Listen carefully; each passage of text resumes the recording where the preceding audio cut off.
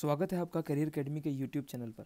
तो इस क्लास में मैं आपको एच में जो पीजीटी लेवल का एग्ज़ाम था, दो दो हज़ार पंद्रह में हुआ था या सोलह में हुआ था, उसको सॉल्व करूँगा।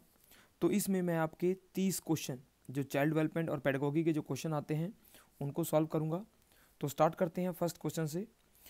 पहला क्वेश्चन है, वर्तमान शिक्षा व्यक्ति को जीवन से अलग करती है। क्योंकि present day education cut off the man from life because यानी वर्तमान शिक्षा जो है, जीवन को या व्यक्ति को जीवन से अलग कर देती है क्यों? तो पहला आंसर आएगा, यह जीवन का समग्र भाग नहीं है। It is not a integral part of line यानी जीवन में आंतरिक भाग नहीं है उसका।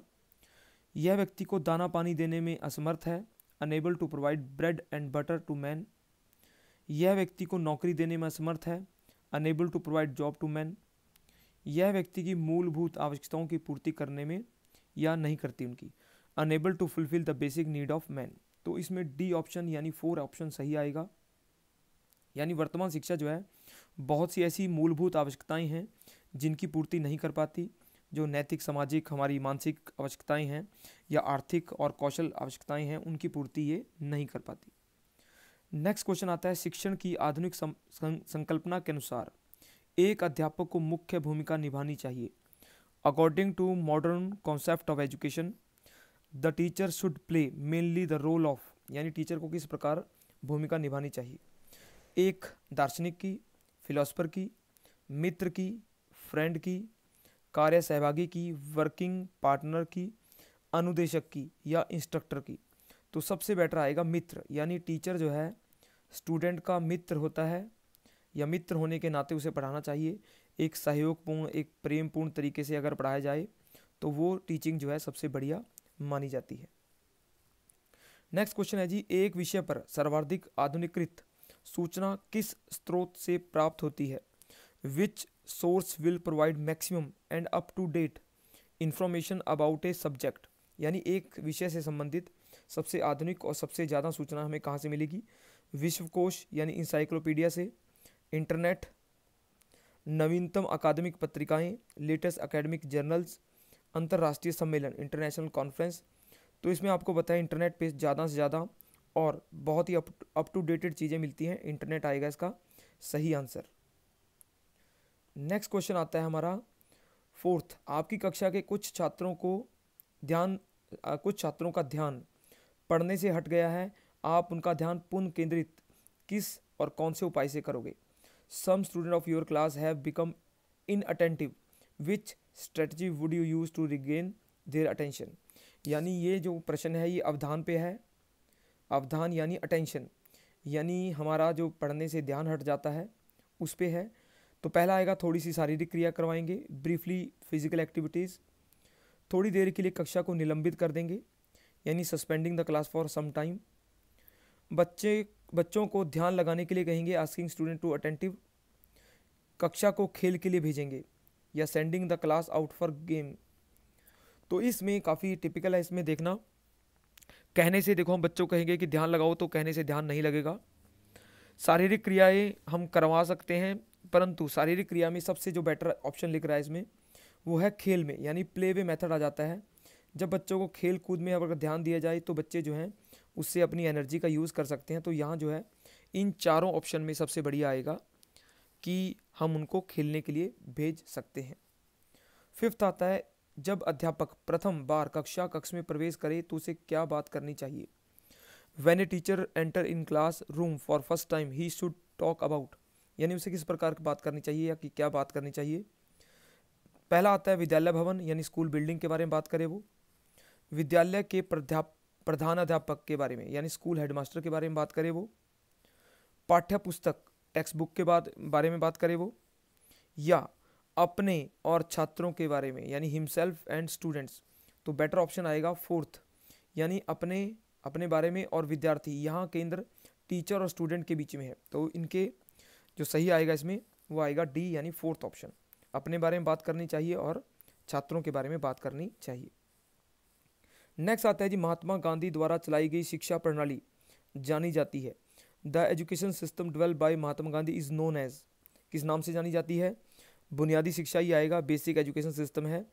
तो इसको बुनियादी शिक्षा या वर्धा शिक्षा योजना कहा जाता है, जो गांधी जी ने दी थी। बाकी इसमें व्यावसायिक, बाल केंद्रित और हस्तकल्पा शिक्षा जो है हैंडीक्राफ्ट एजुकेशन ये नहीं आएगा ए ऑप्शन इसका आएगा फ़र्स्ट नेक्स्ट आता है हमारा अध्यापक का कौन सा कार्य उपयुक्त अधिगम वातावरण बनाने में मदद नहीं करता नहीं करता।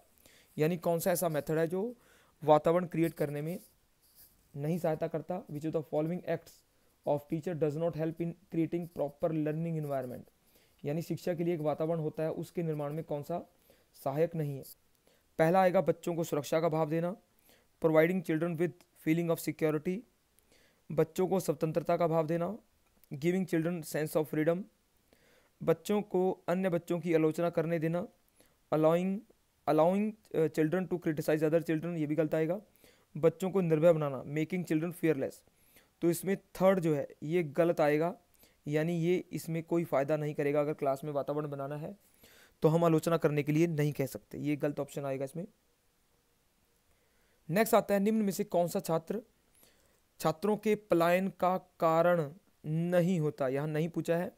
Which are the following is a not cause of truancy of students अरुचिकल विद्यालय कार्यक्रम अन इंटरेस्टेड स्कूल प्रोग्राम अध्यापक का पक्षपात व्यवहार टीचर्स पार्शियल बिहेवियर बहुत अधिक गृह कार्य टू मच होमवर्क बहुत अधिक छुट्टी, यानी बहुत अधिक छुट्टियाँ टू मैनी हॉलीडेज तो इसमें कौन सा कारण जो है, पलायन का कारण नहीं होगा। तो इसमें ए बी सी हो सकते हैं, पलायन कर सकता है बच्चा।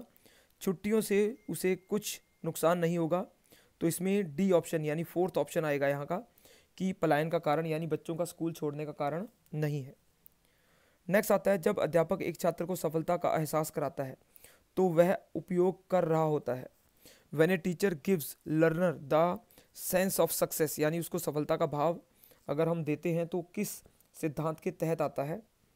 तत्परता के सिद्धांत में लॉ ऑफ़ रेडीनेस अभ्यास लॉ ऑफ़ प्रैक्टिस के नाम से, प्रभाव का नियम लॉ ऑफ़ इफ़ेक्ट तो इसमें सी यानी थर्ड ऑप्शन आएगा। प्रभाव का नियम जो है, ये नियम बताता है सुख और दुख, यानी जो चीज़ अच्छी लगती है, उससे हम प्रेरित होते हैं और उसको करने का भाव हमारे में आता है। जो चीज़ हमें बुरी लगती है, जो चीज़ हमें दुख देती है, उसको हम बचने का प्रयास करते हैं। तो प्रभाव का नियम आएगा, सफलता जो है, ये बच्चे में सुख, यानी अच्छा प्लेजर प्लेजर फीलिंग देगी तो इससे बच्चे को प्रेरणा मिलेगी। नेक्स्ट आता है प्रकृतिवाद के अनुसार, शिक्षा का केंद्र होना चाहिए। According to naturalism the centre of education should be teacher यानी अध्यापक, बालक, यानी चाइल्ड करिकुलम यानी पाठ्यक्रम, या कोई नहीं। तो इसमें बालक, यानी प्रकृतिवाद और व्यवहारवाद दोनों ही एक साइंस की शाखा है, नेचुरलिज्म और बिहेवियरलिज्म। तो ये बच्चे के ऊपर, चाइल्ड के ऊपर फोकस करते हैं। तो ऐसी शिक्षा जो बच्चे को विकसित करती है या बच्चे का विकास करती है, वो ज़्यादा बेटर मानी जाती है। नेक्स्ट क्वेश्चन आता है हमारा, आपकी कक्षा के एक विद्यार्थी में झूठ बोलने की आदत है तो आप किसके साथ कैसा व्यवहार करेंगे या उसके साथ कैसा व्यवहार करेंगे? A student of your class is an in the habit of telling lie यानी झूठ बोलने की आदत है तो how would you deal with him उससे कैसे आप निपटोगे? झूठ ना बोलने के लिए कहेंगे, हम कहेंगे कि उसे tell him not to tell lie यानी झूठ ना बोले वो, सजा देंगे पनिश हिम उसे दंड देना। उसकी उपेक्षा करेंगे, उसे हम जस्ट इग्नोर हिम इग्नोर कर देंगे, या फिर उसे विश्वास में लेंगे और परामर्श करेंगे। ये बेटर ऑप्शन लग रहा है। Will take him in confidence and counselling तो विश्वास में लेकर ही हम उसके झूठ की आदत को ठीक कर सकते हैं और उसको परामर्श द्वारा उसको हम ठीक कर सकते हैं। ये उसका उपचार हो सकता है। नेक्स्ट आता है, प्रतिभावान बच्चों की शिक्षा के लिए सर्वश्रेष्ठ प्रावधान है। Best provision for the education of talented children यानी प्रतिभावान बच्चों के लिए कौन सी शिक्षण अच्छी होती है? योग्यता के आधार पर समूह बनाना। एबिलिटी ग्रुपिंग, यानी एबिलिटी के हिसाब से उनको अलग अलग ग्रुप में डालना। दोहरी कक्षा उन्नति गिविंग डबल प्रमोशन यानी उनको डबल क्लास में आगे उनको प्रमोट कर दिया जाए। कार्यक्रम को समृद्ध बनाना एनरिचिंग प्रोग्राम उसके लिए अलग से कार्यक्रम को हम समृद्ध बना सकते हैं। विशिष्ट विद्यालय विद्यालय का प्रावधान प्रोवाइडिंग स्पेशल स्कूल्स तो स्कूल नहीं बना सकते स्कूल बनाना उनके लिए पॉसिबल नहीं है। कक्षा प्रमोशन भी गलत आएगा। ग्रुपिंग में भी हम उसको नहीं डाल सकते। हम उसके कार्यक्रम को हम या उसकी लर्निंग को हम समृद्ध, यानी एनरिच्ड समृद्ध बनाना एनरिच्ड जो लर्निंग होती है, उसमें बच्चा जो है ज़्यादा अच्छे से सीख पाता है। तो एनरिचिंग प्रोग्राम जो है उसके लिए बेटर ऑप्शन आएगा, यानी थर्ड राष्ट्रीय शिक्षा नीति 1986 यानी उन्नीस सौ छियासी की शिक्षा नीति जो है, शिक्षा पर कुल कितने निवेश का प्रतिशत बताती है, यानी कितना प्रतिशत शिक्षा पर निवेश होना चाहिए as per N P E 1986 percentage of national production must be invested on education यानी शिक्षा पे कितना खर्च होना चाहिए? तो इसका सही आंसर छः आता है सिक्स परसेंट हमारा जीडीपी का रेशो होना चाहिए। यानी जीडीपी का कुल छः प्रतिशत हम अपनी एजुकेशन पे खर्च करें। स्कूल प्रशासन कमज़ोर बच्चों के लिए आयोजित अतिरिक्त कक्षाओं में से कुछ आपको आवंटित करता है। यानी एक टीचर को कुछ अलग से कक्षाएँ, अतिरिक्त कक्षाएँ दी जाती हैं जो कमज़ोर बच्चों के लिए हैं। तो एक अध्यापक के रूप में आपकी क्या प्रतिक्रिया होगी? प्रतिवाद करेंगे, कक्षा नहीं लेंगे, गलत आएगा ये। निर्णय के पुनर्विचार पर आग्रह करेंगे कि दोबारा आप पुनर्विचार करें। विद्यार्थियों को कहेंगे कि वे स्वयं तैयारी करें और डी आएगा, इसे अपने दायित्व के रूप में स्वीकार करेंगे। यानी क्लास जो है, ये हमारे दायित्व है रिस्पॉन्सिबिलिटी है। तो हमें रिस्पॉन्सिबिलिटी या दायित्व को समझना और स्वीकार करना आना चाहिए, ये एक अच्छे टीचर की निशानी होती है। नेक्स्ट आता है हमारा अध्यापन की पद्धति के रूप में व्याख्यान प्रणाली के बारे में निम्न कथनों का अध्ययन करें। Study the following statement about lecturing as a method of teaching यानी लेक्चर मेथड के ऊपर है, व्याख्यान विधि के ऊपर है। सूचना प्रदान करने की एक कुल कुशल विधा है efficient method of giving information यानी इससे हम उनको इंफॉर्मेशन प्रोवाइड करते हैं एफिशिएंट वे में। विद्यार्थियों को आलोचनात्मक दृष्टि से सोचने के लिए प्रेरित करने हेतु एक प्रभावपूर्ण प्रणाली है। It is efficient way of making student think critically यानी हम लेक्चर मेथड से बच्चों को क्रिटिकल थिंकर बना सकते हैं। तो इसमें सही कौन सा आएगा? व्याख्यान विधि में देखो, पहला पार्ट जो है, वो ज़्यादा अच्छा है, यानी ए तो है कन्फर्म है कि वो सूचना देती है। इसमें बच्चों की आलोचनात्मक दृष्टि को बढ़ावा देने का जो साधन है, ये हो सकता है या नहीं भी हो सकता, ये देखना पड़ेगा। यानी व्याख्यान विधि से बच्चे आलोचनात्मक हो सकते हैं, अगर हम उनको इस प्रकार से शिक्षित करें, मूल्यों के बारे में शिक्षित करें कम्युनिकेशन आदि के बारे में शिक्षित करें तो ये जो है उनके आलोचनात्मक दृष्टि से सोचने के लिए उनको कर सकती है, प्रेरित। तो इसका सी ऑप्शन ज़्यादा आएगा थर्ड ऑप्शन ए और बी दोनों ठीक हो सकते हैं। शिक्षण कार्य प्रारंभ करने से पूर्व शिक्षक को, यानी before starting to teach a teacher must यानी क्लास शुरू करने से पहले टीचर को क्या करना चाहिए? छात्रों को खड़ा कर देना चाहिए मेकिंग स्टूडेंट स्टैंड्स छात्रों को मानसिक रूप से तैयार करना चाहिए मेकिंग स्टूडेंट मेंटली रेडी ये आएगा आंसर वैसे, इसको कह देते हैं हम मेंटल सेट एक लॉ आता है थॉर्नडाइक में आता है मेंटल सेट यानी मानसिक तैयारी का नियम।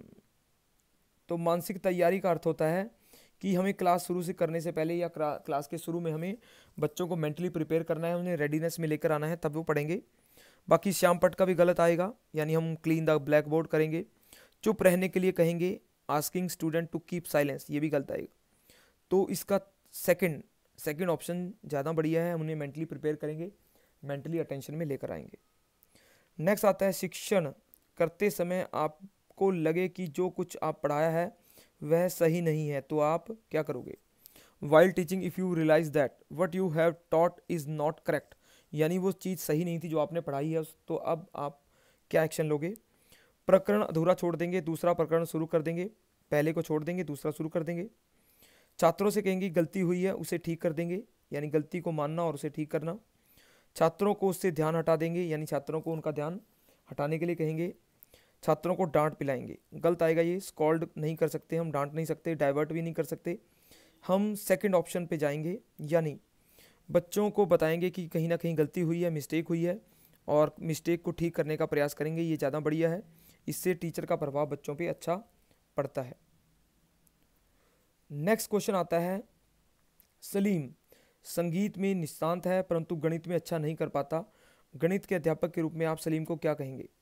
Salim is a very good in music यानी संगीत में अच्छा है but is not able to do well in mathematics गणित में अच्छा नहीं कर पाता as you teacher of mathematics यानी यानी आप गणित के टीचर हो तो आप उससे कैसे डील करोगे उससे कहोगे कि संगीत का कोई भविष्य नहीं है tell him that music does not have future उसे कहेंगे कि संगीत का कोई फ्यूचर नहीं है ये भी सही नहीं आएगा उससे संगीत छोड़कर गणित की पढ़ाई करने को कहेंगे यानी उसे कहेंगे कि संगीत छोड़ो और गणित पर ध्यान दो tell him to leave music and study maths ये भी गलत आएगा।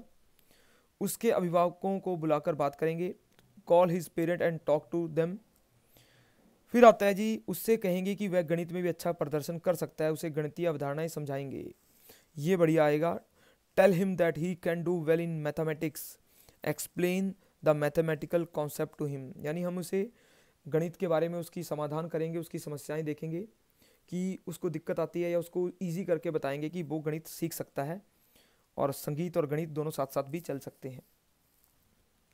नेक्स्ट आता है प्रतिभावान बालक की पहचान अवलोकन द्वारा नहीं की जा सकती क्योंकि ये ऑब्जर्वेशन मेथड के बारे में है। A talented child can not be identify through observation because क्यों? अवलोकन वस्तुनिष्ठ तकनीक नहीं है। Is a not a objective technique अवलोकन व्यक्तिनिष्ठ है। इज़ ए सब्जेक्टिव टेक्निक अवलोकन सिर्फ़ विशेषज्ञों द्वारा किया जा सकता है। Observation is use by those who are expert all the above तो इसमें देखना पड़ेगा कि ऑब्जर्वेशन जो है, ये कौन सा मेथड आता है? तो ऑब्जर्वेशन जो है, वैसे सब्जेक्टिव मेथड आता है। तो इसमें ये सारे ऑप्शन ठीक है। यानी टैलेंटेड बच्चे के लिए अवलोकन में कहीं ना कहीं दिक्कत आएगी कि ये ऑब्जेक्टिव नहीं है। ये व्यक्तिनिष्ठ प्रविधि है।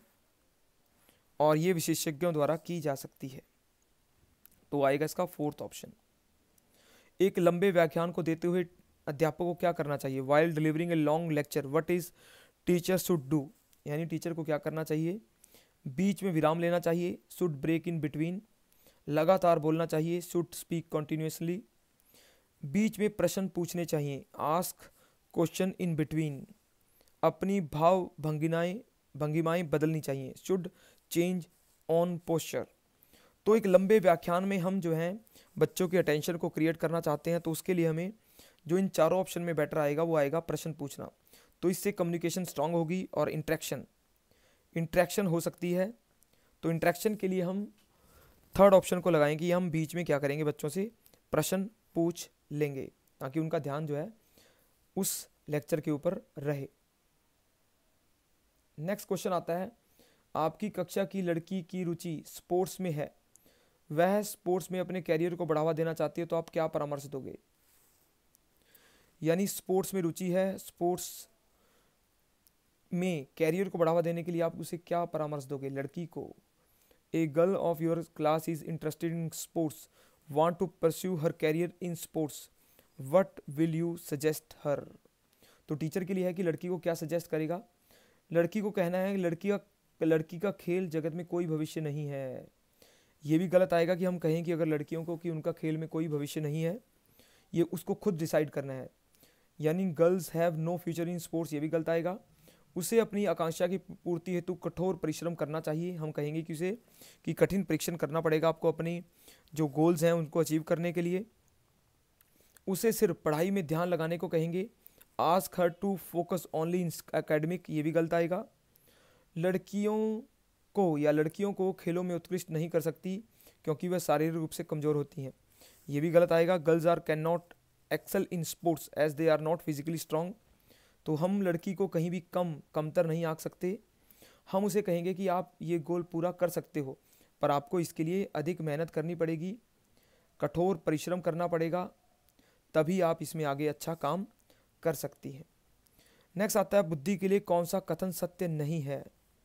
यानी what is which is not true about intelligence बुद्धि सीखने की योग्यता है। Intelligence is a ability to learn यानी ये सीखने में मदद करती है। बुद्धि समस्या हल करने की योग्यता है। Intelligence is ability to solve problem third आएगा बुद्धि परिश्रम करने की योग्यता। Intelligence is ability to work hard यानी ये काम कर, मेहनत भरा काम करने की योग्यता है। बुद्धि नवीन परिस्थितियों के साथ अनुकूलन करने की योग्यता है। Intelligence is ability to adapt novel situation तो इसमें थर्ड ऑप्शन जो है, ये गलत आएगा। कठिन परिश्रम फिजिकली होता है, ये दिमागी काम नहीं है। तो प्रॉब्लम सॉल्विंग है लर्निंग एबिलिटीज़ में भी याद हेल्प करती है और न्यू सिचुएशन में अडेप्टेबिलिटी या एडजस्टमेंट में भी हेल्प करती है। तो थर्ड इसका आंसर आएगा सही। सर्वाधिक प्रभावी मूल्यांकन पद्धति है। Most effective evaluation method is वार्षिक परीक्षा एनुअल एग्जामिनेशन मेथड सपुस्तक परीक्षा प्रणाली examination with book method semester प्रणाली सेमेस्टर मेथड वस्तुनिष्ठ प्रश्न पत्र पद्धति ऑब्जेक्टिव क्वेश्चन पेपर मेथड तो इसमें देखना पड़ेगा कि कौन सा मेथड ज़्यादा बढ़िया है। प्रभाव की मूल्यांकन पद्धति, मूल्यांकन में आमतौर पे जो मूल्यांकन होता है, जो वार्षिक परीक्षा प्रणाली में मूल्यांकन साल में एक बार होता है, इसकी भी कमी आएगी। बुक के साथ मूल्यांकन का कोई पद्धति नहीं है। सेमेस्टर में छः छः महीने के बाद मूल्यांकन होता है, यानी सिक्स मंथ के बाद दो बार मूल्यांकन होता है इसमें। तो ये कुछ बेहतर है। वस्तुनिष्ठ प्रश्न पद्धति, यानी ऑब्जेक्टिव क्वेश्चन पेपर मेथड भी अच्छी विधि है, जो नॉर्मली बच्चों की ऑब्जेक्टिव नॉलेज चेक करती है। इससे एकदम से पता लग जाता है कि बच्चे जो हैं, एकदम से उनको क्या आता है और वो क्या प्रकट कर पा रहे हैं। या क्या वो स्पष्ट कर पा रहे हैं? तो इन चारों में डी ऑप्शन ज़्यादा अच्छा आएगा। क्वेश्चन पत्र ऐसा हो जो वस्तुनिष्ठ हो ऑब्जेक्टिव हो, जिससे बच्चों की नॉलेज जो है, सही रूप में प्रकट हो पाए। नेक्स्ट क्वेश्चन आता है मैचिंग करनी है। स्लाइड प्रोजेक्टर किस प्रकार की विधि है? टीवी चार्ट आवाज़ रिकॉर्डर स्लाइडर प्रोजेक्टर क्या है? विजुअल मीन है ऑडियो मीन है ऑडियो विजुअल है वॉइस रिकॉर्डर तो ये सब हमें मैचिंग करनी है। पहला आता है स्लाइड प्रोजेक्टर। तो स्लाइड प्रोजेक्टर जो है, आपको पता है कि ये प्रोजेक्टर जो है, एक प्रोजेक्टिव मीन आता है, जिसमें हम किसी चीज़ को प्रोजेक्ट करते हैं तो ए का चार, यानी ए का चार हो सकता है। टीवी ये दृश्य श्रव्य दोनों आता है बी का तीन तो बी का तीन आएगा। चार्ट चार्ट जो है, आपको पता है, दृश्य साधन है तो चार्ट एक हो सकता है। सी का एक आएगा और आवाज़ रिकॉर्डर ये सिर्फ़ श्रव्य आएगा, यानी डी का दो। तो इसका ए आंसर यानी ए आंसर आएगा, जिसमें स्लाइड प्रोजेक्टर जो है प्रोजेक्टिव मेथड है प्रोजेक्शन करते हैं टीवी दृश्य श्रव्य ऑडियो विजुअल मीन में आता है चार्ट जो है सिर्फ़ विजुअल मीन में आता है, और आवाज़ रिकॉर्डर जो है ऑडियो मीन में आता है। तो इसका आएगा फ़र्स्ट ऑप्शन नेक्स्ट आता है पद व्यापक मूल्यांकन का अर्थ। The term comprehensive evaluation means अलग अलग समय किया जाने वाला मूल्यांकन, यानी अलग अलग समय पे हम जब इवेल्युएट करते हैं conduct several point of time अध्यापकों के समूह द्वारा किया जाने वाला मूल्यांकन evaluation by group of teachers लंबी अवधि के लिए test several test for long duration विद्यार्थी की समृद्धि के शैक्षणिक और सह शैक्षणिक आयामों का मूल्यांकन। इवेल्यूशन ऑफ़ करिकुलर और को करिकुलर एक्टिविटीज़ तो इसमें डी यानी फोर्थ ऑप्शन आएगा कि बच्चों की समृद्धि ग्रोथ क्या हो रही है एजुकेशनली क्या इंप्रूव कर रहे हैं और सह शैक्षणिक आयामों में क्या मूल्यांकन हो रहा है। तो डी आएगा। नेक्स्ट आता है वस्तुओं को क्रम से जमाने की क्षमता बालक में विकसित होती है। The capacity to arrange object serially develop in the child in which age यानी ज़ीरो से दो में, दो से सात में या सात से ग्यारह में या ग्यारह से सोलह में। तो ये आती है पूर्व क्रिया, यानी प्री ऑपरेशनल स्टेज दो से सात में आमतौर पे बच्चा जो है ऑर्डर में, क्रम में सीरीज़ में नंबर में, क्रम आदि में कंजर्वेशन करने लगता है क्लासिफिकेशन करने लगता है। ये स्टेज आएगी हमारी दो से लेकर सात वर्ष में वो अंकों का भी ज्ञान कर लेता है सीरिएशन नंबर और इसके अलावा वर्गीकरण भी करने लगता नेक्स्ट क्वेश्चन आता है, अधिगम स्थानांतरण की योग्यता को बढ़ाने के लिए अध्यापक को नहीं करना चाहिए। For enhancing the ability of transfer of learning the teacher should not क्या नहीं करना चाहिए? स्वय क्रिया को प्रोत्साहित करे इनकरेज सेल्फ एक्टिविटी तो करनी चाहिए। रटने की प्रवृत्ति को प्रोत्साहित करना चाहिए, ये गलत आएगा। Encourage the habit of rote learning ये गलत होता है नेगेटिव होता है ये। सूझ द्वारा सीखने का विकास करेंगे developing habit of learning by insight ये ठीक होता है। सामान्यकरण, यानी एम्फेसिस ऑन जनरलाइजेशन तो इसमें सेकंड ऑप्शन जो है, गलत आएगा। जनरलाइजेशन भी अच्छा होता है। इससे बच्चा जो है, कोई भी चीज़ आती है, उसको प्रकट कर पाता है। सूझ गेस्टाल्ट आता है या इनसाइड थ्योरी वो भी अच्छी आती है लर्निंग में। गेस्टाल्ट भी कह देते हैं। और स्व, यानी सेल्फ एक्टिविटी भी अच्छी आती है। तो सेकंड जो है, वो गलत आएगा। सेकंड ऑप्शन जब कोई बच्चा किसी शब्द का गलत उच्चारण करता है तो आप क्या कहोगे? यानी कोई बच्चा अगर गलत बोलता है, यानी when a child mispronounce a word what will you do उसे कहेंगे कि मत बोलो तो मत बोलो tell don't say like this शुद्ध उच्चारण बताएँगे टेल द करेक्ट प्रोनाउंसिएशन गलत उच्चारण के लिए डांटेंगे rebuke the child for wrong pronunciation ध्यान नहीं देंगे इग्नोर कर देंगे उसे। तो इसे हम सेकंड ऑप्शन आएगा, शुद्ध उच्चारण। कैसे उसको सही तरीके से प्रॉपरली उसको उच्चारण करना है, वो चीज़ बताएँगे तो बाकी बच्चे में सुधार हो पाए। नेक्स्ट आता है प्रभावी और सबल नेतृत्व का आधार है। The basis of effective and successful leadership यानी एक अच्छे लीडर में इफ़ेक्टिव और सक्सेसफुल तरीके से अगर वो लीडरशिप करता है तो उसमें कौन कौन से गुण होने चाहिए? प्रशंसा एप्रिसिएशन समूह हित, समूह का हित, यानी इंटरेस्ट ऑफ़ इंटायर ग्रुप यानी ग्रुप को रिप्रेजेंट करे वो। समूह की सेवा सर्विस ऑफ़ ग्रुप, यानी ग्रुप की सेवा और स्वय का हित सेल्फ इंटरेस्ट तो एक अच्छे लीडर में समूह की सेवा और समूह का हित, ये दो ऑप्शन ज़्यादा अच्छे आते हैं। संपूर्ण जो समूह है, उसका हित हित में सब कुछ आ जाएगा, हित में सेवा भी आ जाएगी। तो बी ऑप्शन या सेकंड ऑप्शन आएगा इसका, कि वो समूह के हितों को ध्यान में रखे और समूह के हितों को बढ़ावा दे। लास्ट क्वेश्चन है थर्टीथ छात्रों में अच्छे नागरिक के गुण कैसे समाहित किए जा सकते हैं? How a virtue of good citizen can be inculcate among student यानी एक विद्यार्थी में अच्छे गुणों का विकास किस प्रकार से किया जा सकता है? उसे अच्छी नागरिकता पर भाषण देके बाय लेक्चरिंग लेक्चर मेथड में आता है देम ऑन गुड सिटीजन कि वो गुड सिटीजन बने बोलकर बताएँगे उसे। उसे या उन्हें राष्ट्रीय नायकों से परिचित कराएँगे by familiarise them with national heroes उन्हें कतिपय सामुदायिक सेवा कार्यक्रम में आवंटित करेंगे। By assigning them some community service work उन्हें भारतीय संविधान से परिचित कराएँगे।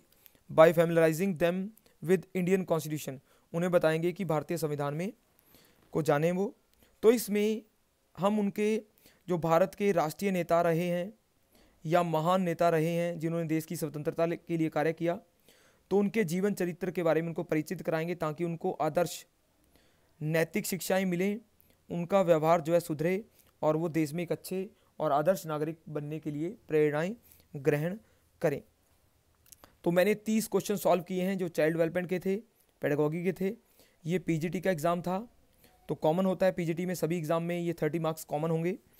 तो ये एच में आए हुए हैं और 2017 में आप इन क्वेश्चन को देखकर कुछ गेस कर सकते हो कि कैसे क्वेश्चन जो है एक्सपेक्टेड हो सकते हैं। तो कैसा लगा लेक्चर आपको? लाइक करें सब्सक्राइब करें। धन्यवाद।